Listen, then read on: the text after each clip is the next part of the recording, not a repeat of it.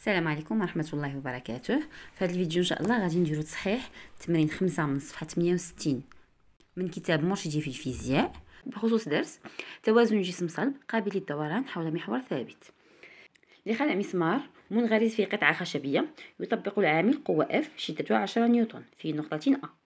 هي هذه اللي هنايا. دونك العامل شد هاد العتلة هادي وكيحاول يجرها باش يحيد المسمار منغرز في القطعة الخشبية. donc في نقطة؟ أ من درع عتلة مكوعة في هذه النقطة ب بتسعين درجة. حيث يرتكز الجزء المكوع على سطح القطعة في نقطة ب تسمى نقطة الارتكاز. وهذه نقطة الارتكاز هي اللي غادي تكون بالنسبة لنا حنايا نقطة الدوران وتمثل سي نقطة تأثير العتلة على المسمار. نهمل وزن العتلة. إذا فاش غنكونو كنجردو القوة غنعتبرو أن بي مكاينش لأن وزن العتلة مهمل أول سؤال أجرد القوى المطبقة على العتلة طبق الشرط الثاني لتوازن جسم صلب أحسب شدة القوة.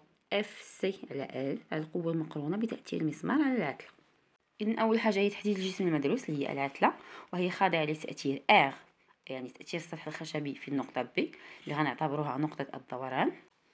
F تأثير يد العامل في النقطة A. T تأثير المسمار في النقطة C.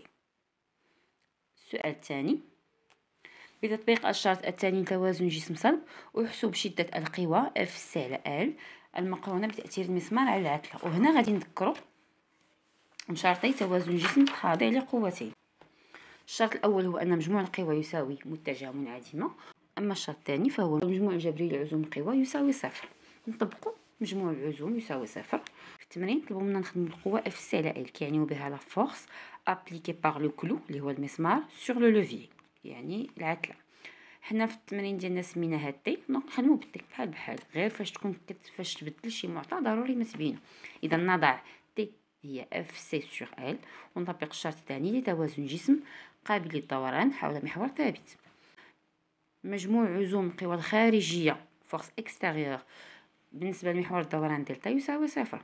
القوى اللي عندنا حنا هي ار اف و تي كنوضعوهم ونحددو عزم كل قوة بالنسبة لدلتا. اللي باين ليه الجواب يقدر يحط الجواب مباشرة تحت كل عزم. اللي ما باين ليش أنا فصلت كل عزم على حدة.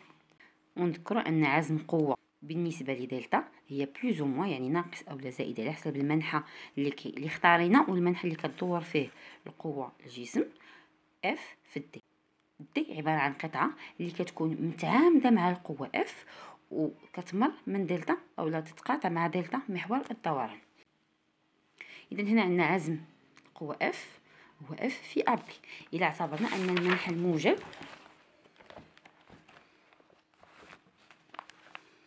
إلى اعتبرنا أن المنحى الموجب هو المنحى اللي كيدور فيه العامل العتلة يعني في هذا المنحى هذا. اذا اذا تأثير العامل على العتلة غيكون تأثير موجب أو المنحى موجب.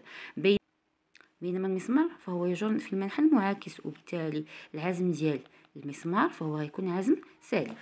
اذا كنلقاو عزم القوه F يساوي F في AB بالنسبة للقوة F القوة F متعامدة مع العتله في النقطة A و AB هي القطعة اللي غادي تكون متعامدة مع القوة F وفي نفس الوقت كتمر من B وبالتالي المسافة هي AB عزم القوه R تساوي صفر لأننا حنا اعتبرنا هذيك النقطة B اللي هي نقطة الارتكاز اللي كيتكى عليها اللي كيتكى عليها الملقط أو العتلة باش يقلع المسمار من بلاصتو اعتبرناها هي نقطة الدوران وفعلا هي نقطة الدوران في التمرين سميناها نقطة الارتكاز ولكن فعليا راه هي النقطة اللي غدور على العتلة فاش غيبدا المسمار كيخرج من المكان ديالو. وبالتالي R يمر من B النقطة التي تدور حولها العتلة. يعني العزم ديالها يساوي صفر ما عندهاش تأثير.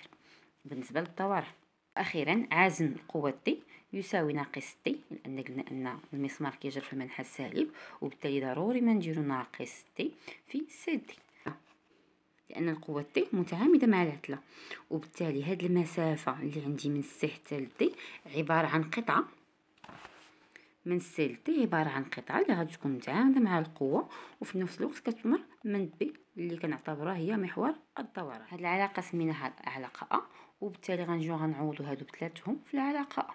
غتولي عندنا عزم القوة R بالنسبة لدلتا يساوي صفر عزم القوة F بالنسبة لدلتا هو F في AB عزم القوة T بالنسبة لدلتا هو ناقص T في C داكشي هنا درنا؟ عزم القوة F يساوي F في AB وعزم القوة T هو ناقص T في CD donc نعوضو كل وحدة بالتعبير ديالها. حنا كنقلبو على T ندوزو T في سي دي للطرف الآخر. تغير الإشارة وغتولي زائد T في سي دي حنا كنقلبو على T اذا ندوز هنا عندي T في سي دي إلا دوزنا سي دي للطرف الآخر خصنا نقسمو على هنا عندي donc في الطرف الآخر غتولي القسمة. من الأفضل حتى نعطيو التعبير ديال القوة اللي كنقلبو عليها ندوزو للتطبيق العددي. اذا تطبيق عددي نعوضو كل مقدار القيمة ديالو.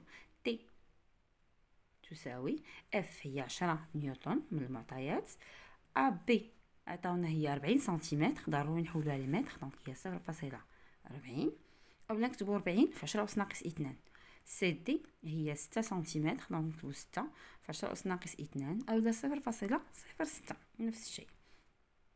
ونحسبو القيمة ديال تي كنلقاوها كتساوي ستة وستين فاصلة سبعة وستين نيوتن.